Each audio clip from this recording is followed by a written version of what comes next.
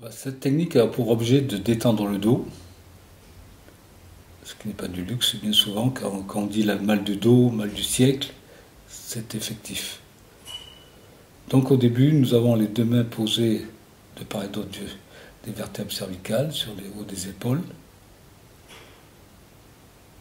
Et une main se déplace. Et ensuite, nous créons un contact entre la main qui est restée au haut de l'épaule et la main qui vient de descendre. Par la visualisation, nous, créons une, nous créons une ligne droite qui va de la main droite à la main gauche. Ensuite, la main droite prend la place de la main gauche et la main gauche descend sur le bas des côtes. Et là, pareil, nous créons par la visualisation un lien entre la main droite et la main gauche.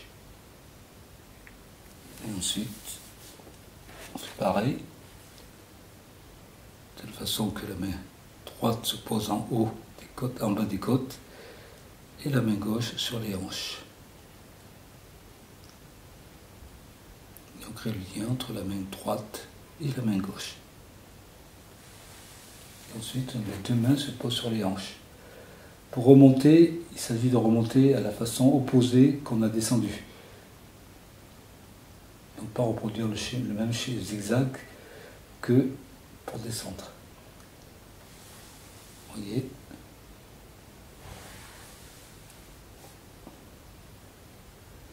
Main gauche, ligne vers la main droite. La main gauche prend la place de la main droite, qui se place sous les on crée le lien.